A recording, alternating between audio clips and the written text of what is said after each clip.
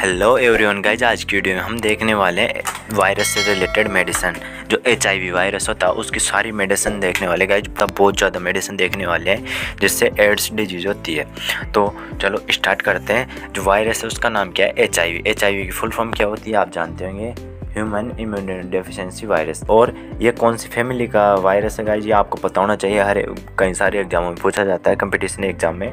तो ये retro virus family का सदस्य है। रिट्रो परिवार का सदस्य है। यह कौन सा एच वायरस फिर डिज़ीज़ नेम ये कौन सी बीमारी कॉज करता है? आपको पता ही होगा। एड्स। एड्स की फुल फॉर्म क्या होती है?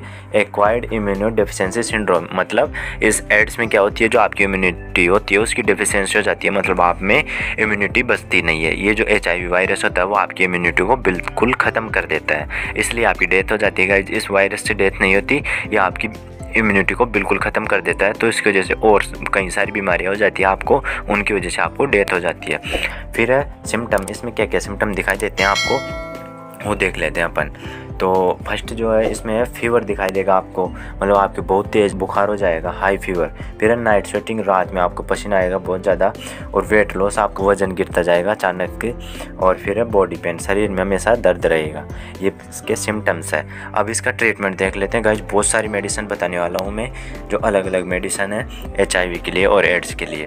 तो चलो स्टार्ट करते हैं। जो अपनी फ़र्स्ट मेडिसिन है, वो है जीडोवुडाइन गाइज़ इसकी जो डोज होती है, वो होती है तीन सौ एम जी दिन में दो बार देनी। होती है। इन सब की फ़ोटो में अभी आपको दिखा दूँगा, आप देख लेना साथ में। ही सेकेंड मेडिसिन अपनी रिट्रोनावियर इसकी डोज कितनी देनी होती है? सौ एम की मेडिसिन को अपन को दिन में दो बार देना होता है बीडी फिर नेक्स्ट जो मेडिसिन है वो है डिडानोसिन ये जो मेडिसिन होती है, इसको ढाई जो एम की टेबलेट है तो उसको अपन को दिन में दो बार देनी होती है। एड्स के पेशेंट को। फिर नेक्स्ट मेडिसिन है, वो है एंटेकावीर एंटीकावीर मेडिसिन होती है नेक्स्ट जो फोर्थ नंबर की अपनी, इसको कैसे देते हैं अपन? Zero point five M G OD दिन में एक बार देना होता है इसको मेडिसिन को।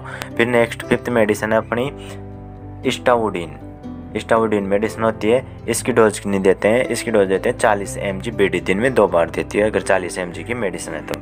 फिर नेक्स्ट मेडिसिन है लेम्योडिन गाइज़ इसको अपन देना होता है, डेढ़ सौ एम जी की मेडिसिन है तो उसको अपन दिन में दो बार दे सकते हैं बी डी फिर है नेक्स्ट एम्बाकावीर। ये जो मेडिसिन होती है, इसको अपन को दिन में दो बार देना होता है। अगर तीन सौ एम के आपके पास मेडिसिन है तो फिर नेक्स्ट मेडिसिन है टेनोफोवीर ये जो मेडिसिन होती है, इसको आपको दिन में दो बार देना होता है, तीन सौ एम की मेडिसिन होती है। तो गाइज़ आज की वीडियो हमने देखा एच आई मतलब जो डिज़ीज़ होती है वो, और इसकी वजह से कौन सी डिज़ीज़ होती है एड्स तो और इसका ट्रीटमेंट इसमें कौन सी मेडिसिन देते हैं? ये सबसे ज़्यादा यूज़ की जाती है और यही मेडिसिन होती है जो कि डॉक्टर देता है। आई होप गाइज़ आपको वीडियो पसंद आएगी। एक बार मेरे कहने मेरे चैनल विज़िट करके देखो, आपको और बहुत सारी वीडियो मिल जाएगी।